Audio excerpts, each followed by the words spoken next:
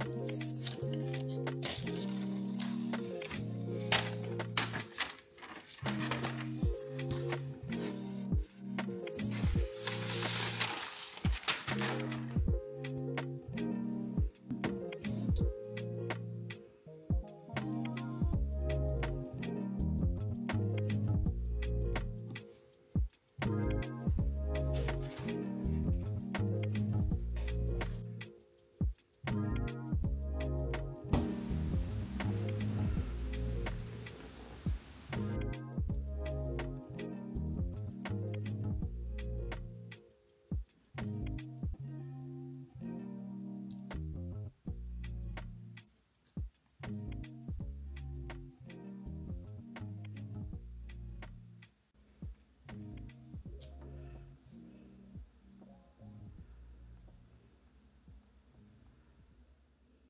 Okay, guys, so oh, this is my screen right here. Oh, this took me forever. So the lighting has changed because it's definitely darker out. But this is my lock screen. It took me like an hour to um, get this together. But yeah, anyways, I do love iOS 26. I think it's we're on 26 because look at this. You see how that's behind the photo? It's kind of like 3D or whatever. Yeah, and okay, so this is my home screen here. This is my home screen. And I love this, you guys. It's giving fall, it's giving dark academia, like, you know, okay? You know. So this is what we're looking like right now. And all my widgets come from the Widgetsmith app. So this is currently what we're working with. Everything you see here, I created in Widgetsmith's um, app. And it's very easy, very seamless, unless you want to add a bunch, which I added a bunch. So that's why it took me about an hour to do this. I do love this air, this iPod here. It actually does play the music. Let's see. Okay, I'm listening to my fall playlist right now. And we're listening to Frank Sinatra. Let's pause that because we're not trying to get copyrighted. And the thing I love most about this is that you can you can literally just design whatever. So I actually took some of these photos here. Of course, this is me. I took that photo. I took this photo here. These two I got from the Widget Smith app. I'm sorry, the Color Widgets app, as well as this. This also came from there. That came from there. These two came from there. That did as well. I took this photo. That's me, of course. I took that photo as well. Those two came from there. And then I took these two photos as well during the fall here in New York. Fall here in New York is actually really pretty. And I just realized I just doubled so that is there and then that's there too. I need to change that. But um it's pretty easy. I'll actually do one with you guys so you'll see how to do it. And a lot of people don't know. So how to make these shortcuts here. You probably want to know how to make these icons. I'll do one with you.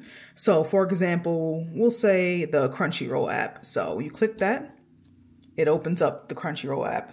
However, the way to do that is to download the Shortcuts app. And so this is Shortcuts here. And as you can see, I have a buttload of shortcuts right here, okay?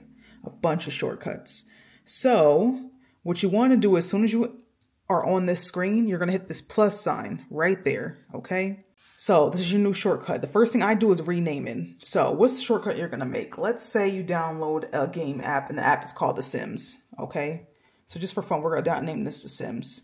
Now, what do you want the shortcut to do? Is what's on this side. So you want we want this shortcut to open the app.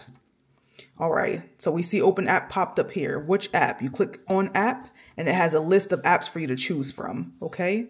List of apps for you to choose from of which widget this is going to open. So for funsies, we're just gonna open up the journal app. Actually, let's rename this to journal because I do have this actually, I believe. We're gonna we're gonna do a journal widget. So you're gonna click on this again the journal name, you're going to add to home screen.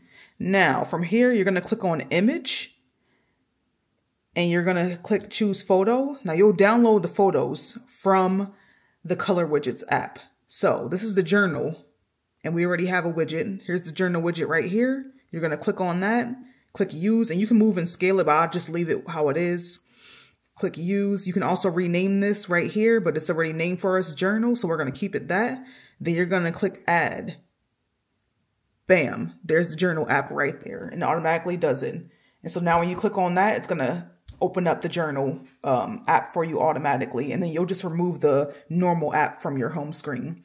But it's pretty easy, pretty easy. So like I said, download shortcuts right here, as well as the widgets app right here.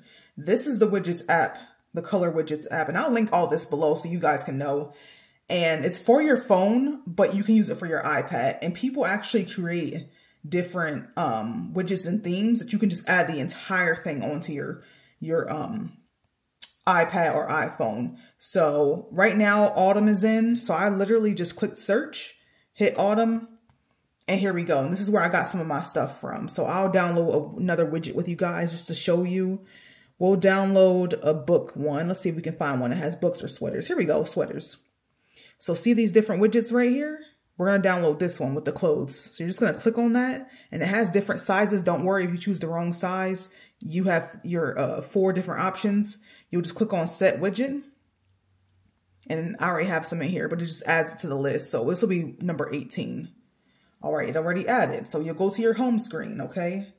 Home screen, you'll just long press on the screen and edit home screen. We're gonna click edit in the top left-hand corner, add widget.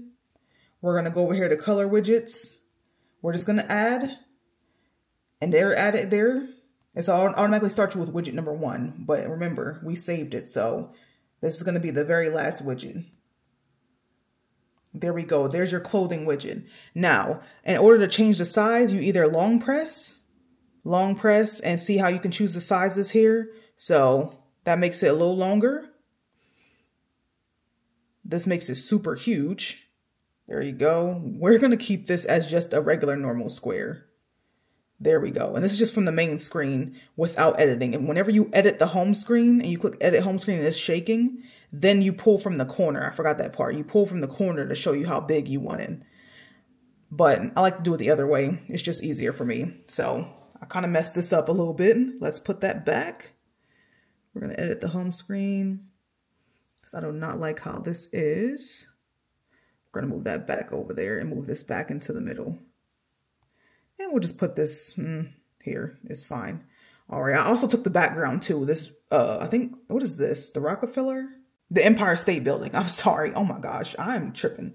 The Empire State Building. So I like to put my photos because I like to take photos. I'm not a photographer at all. Mine are kind of mediocre. But I like to take the photos that I take and put them into um, these widgets because it just makes it more personable. So that's kind of what I did here. And then the back, the last page is always just some random mess. So a lot of these icons that people create, they don't create them for everything. Like I don't see one. I don't know if I could find one for GoodNotes or Procreate. So that's why these are normal and I just leave them in the back on the last page. But I'm going to see if I can find some that have been designed for these. So I don't even use Playground. Let's delete that. But yeah, that's pretty much it. So that's how I'm going to leave it here for now. This is for the fall.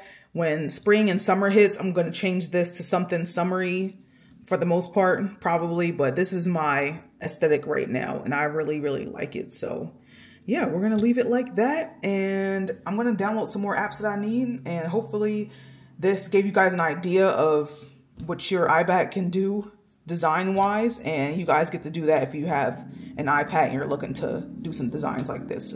Let me know if you have any questions in the comments. And thank you guys for watching.